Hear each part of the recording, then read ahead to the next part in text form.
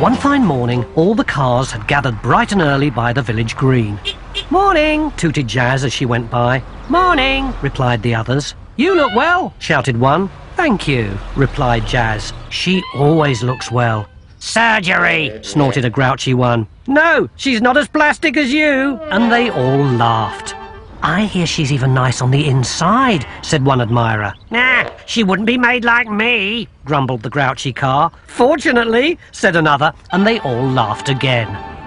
I bet she's expensive, said one. They would have fainted with surprise at the price. But they were cars, not people.